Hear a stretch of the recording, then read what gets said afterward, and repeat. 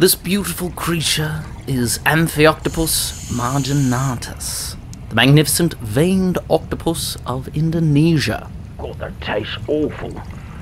Always remember, pick up my feet, pick up my feet, just like my Despite what it looks like, he is not looking for food.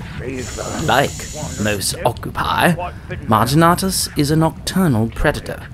Gary's always telling me about my dietary habits. Oh, As he glides gently across the sandy bottom, he is undertaking a very different job. excuse me, excuse me, excuse me. Let's see. Marginatus is building a bunker. Well, quite comfy under here. Scientists first described this behavior in 2009 when they observed veined octopi using empty coconuts as temporary shelter.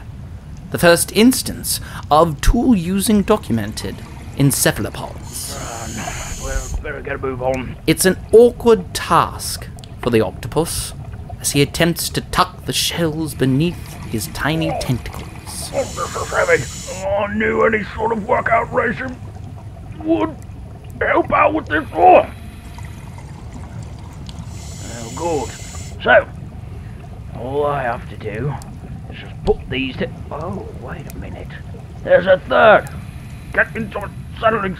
Oh, God, this is... Yes, there we go. Oh, no, no.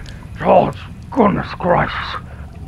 Oh, oh, oh, gosh darn equilibrium. Oh, tripping over all myself, losing a sense of balance. So nicknamed the coconut octopus, Marginatus has been known to carry its newly acquired pop tent up to 20 meters. This one is still waiting to be found in a 36 day round of hide and seek with this diver.